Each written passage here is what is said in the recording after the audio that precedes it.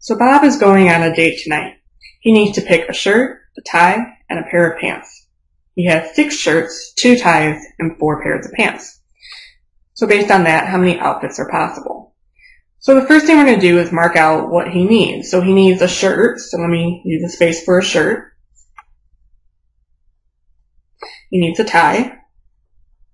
And he needs a pair of pants. So in each spot, we're going to mark out how many possibilities there are. So he has six shirts, so there's six possibilities. He has two ties, and he has four pairs of pants. So the number of outfits that are possible is found by multiplying these together. This is called the fundamental theorem of counting.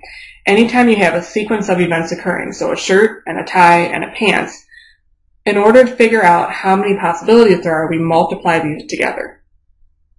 So multiplying this together, 6 times 2 is 12, times 4 is 48. So he has 48 possible outfits.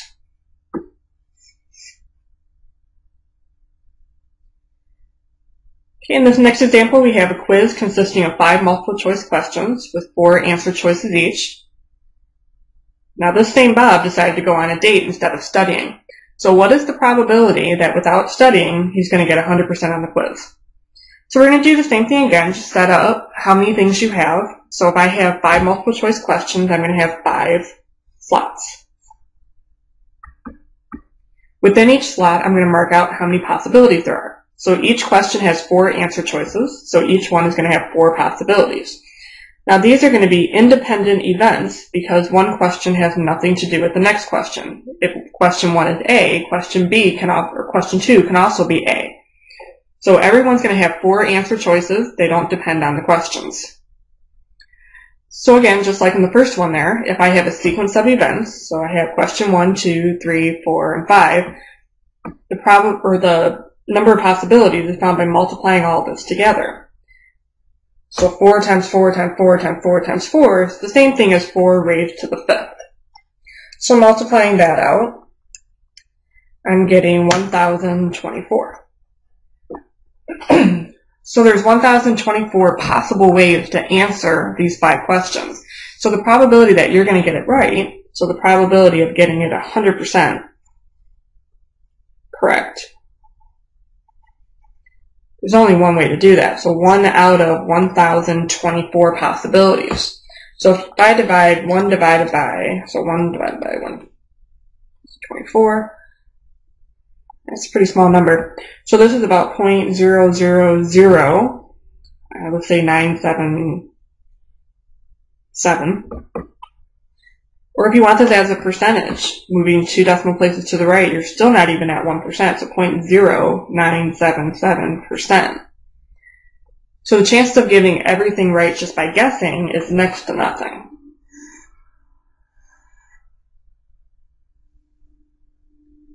This next example, let's say there's eight red marbles, four white marbles, and six green marbles in a bowl. What is the probability that you will select a red marble and then another red marble?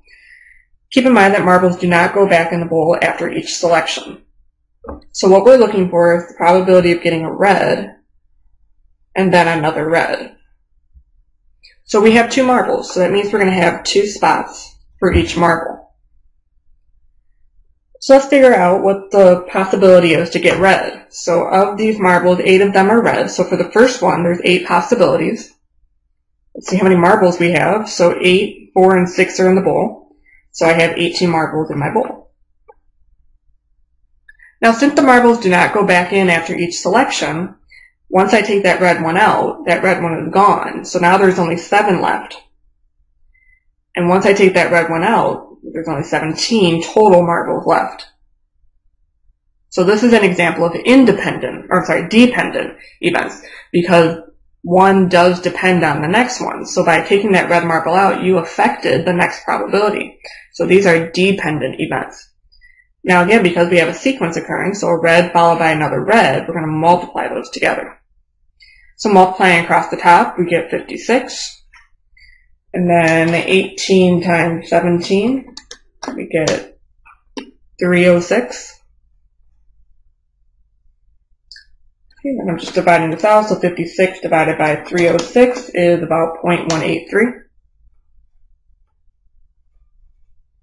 So we're looking at about an 18.3% chance that you'll get a red one followed up by another red one. Let's look at one more example here. Let's say you are at a casino playing a game of craps. What is the probability that you roll a 7 or 11 two times in a row? Okay, so we want to get a 7 or an 11. So there's a couple, actually four ways that this can happen. So one possibility is that you get a 7 and then you get a 7. So that's a 7 or 11 twice. You could get a 7 and then you can get an 11. A third possibility is that maybe you get the 11 and then you get a 7. In these, all of these cases, you're still getting a 7 or an 11. And then the fourth way that you could do it is by getting an 11, followed by an 11. So in all these cases, you're still getting a 7 or 11 two times in a row. So now let's go through and figure out the probability of getting a 7 and then getting a probability of 11. So the probability of 7 and the probability of getting an 11. Keep in mind that these are going to be independent rolls because one set of rolls or one set has nothing to do with the next. Once you roll a 7, you can roll a 7 again. Not going to affect. So now I'm going to go through and find the probability of getting a 7. So let's think of how that can be done I actually have a whole table from a previous video of this. So the probability of getting a 7 could have been a 1 and a 6, a 2 and a 5, a 3 and a 4, a 4 and a 3, a 5 and a 2, a 6 and a 1. There's actually six ways to get a 7. And then to get an 11 could be a 5 and a 6, and a 6 and a 5. So there's two ways to get an 11. So to get a 7, there's six ways. And because you have two dice, there's six ways on each one, so 6 times 6 is 36. To get the 11, there's two ways out of 36. Yeah, so if I want to get a 7 both times, that's going to be 6 out of 36 times 6 out of 36. Again, each roll is independent. If I want to get 7 followed by 11, that's going to be 6 out of 36 times 2 out of 36. If I want to get 11 first, that would be 2 out of 36, and then a 7 would be 6 out of 36. If I want to get 11 both times, that's 2 out of 36 for both. Again, because you have a sequence of events, you're going to multiply them together. Okay, so taking a look at what we have, 6 times 6 is 36. 36 times itself is 1296. 6 times 2 is 12. 2 times 6 is also 12, so that's actually the same thing. And then 2 times 2 is 4.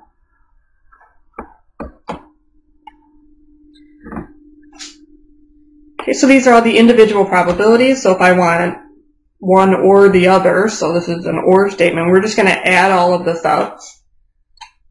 So 36 plus the 12 plus the 12 plus the 4, there's 64 ways to do this out of the 1296. Okay, just added all those up. So then 64 divided by 1296, we're looking at a pretty small chance here. 0.049, about 4. Whereas the percentage, only about a 5% chance that you're going to get a 7 or an 11 two times in a row.